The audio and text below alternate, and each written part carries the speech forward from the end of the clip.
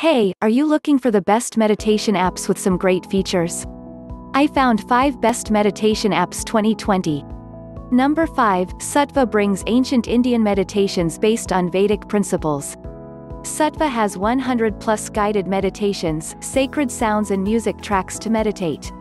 The app lets you set goals and achieve them. Number 4, Buddhify aims to bring calm, clarity, and kindness in your life. This is an excellent meditation app to reduce stress and anxiety. You can use the app for guided meditations. Number 3, the Mindfulness app is one of the best meditation apps that comes with professional guided meditations. You can use this app to learn and practice meditation. There are guided and silent meditations from 3 to 30 minutes. Number 2, Headspace is also a good meditation app to help focus more, stress less and get better sleep. The app teaches you how to perform meditation. The team behind the app claims that the app is basically a gym membership for the mind.